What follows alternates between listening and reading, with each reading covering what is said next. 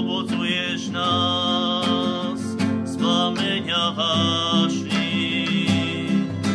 Rosou svojho príhovoru oslobodzuješ nás